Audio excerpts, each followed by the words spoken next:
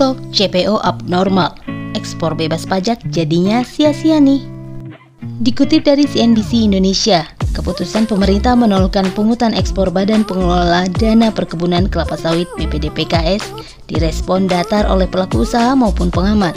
Pasalnya, dengan hanya pemangkasan tarif ekspor BPD PKS tersebut tak akan bisa mempercepat pengosongan tangki-tangki CPO.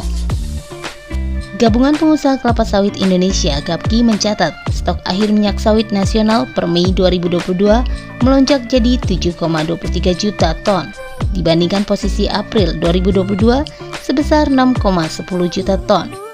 Sementara itu, harga CPO hari ini terpantau naik setelah anjlok ke posisi terendah di MYR 3.500-an per akhir pekan lalu. Trading Economics mencatat harga CPO hari ini Senin 18 Juli 2022 naik ke MYR 3.837 di sesi perdagangan siang 12.20 WIB. Kita lihat lagi nanti sore, kalau mengangkat TBS tandan buah segar ya efek pungutan ekspor jadi nol. Tapi karena kondisi stok kita saat ini sangat tinggi, maka perlu juga kebijakan relaksasi untuk memperlancar ekspor, kata Sekjen Gapki Edi Martono kepada CNBC Indonesia Senin 18 Juli 2022. Eksportir lanjutnya membutuhkan kepastian izin 1 hingga 2 bulan sebelumnya untuk memudahkan negosiasi kapal. Dengan kondisi stok yang abnormal, maka ini harus dikejar agar stok segera turun. Pastinya dengan ekspor yang lancar. Kendala ekspor sekarang utamanya adalah masalah angkutan, ujarnya.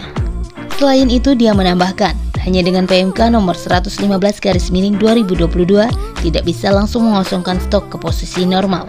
Pemerintah imbuh dia perlu menghentikan dulu sementara kebijakan wajib pemenuhan kebutuhan dalam negeri Domestic Market Obligation atau DMO.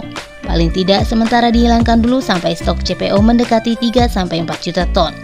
Kalau stok tetap tinggi akan menghambat kenaikan harga, kata Edi. Sementara itu, Direktur Eksekutif PASPI Tungkot Sipayung menambahkan penguatan harga CPO hari ini adalah anomali. Anomali ya, berarti Cina dan India benar-benar borong CPO Indonesia untuk isi stok mereka. Berita Indonesia akan masuk B35 juga ternyata sudah trending isu tiga hari ini. Cina dan India yang stoknya masih 40% di bawah normal, takut kehabisan CPO, ya makanya langsung borong, kata Tungkot kepada CNBC Indonesia. Senin 18 Juli 2022. Levy atau pungutan ekspor nol pada saat tren harga CPO turun bisa kontraproduktif katanya.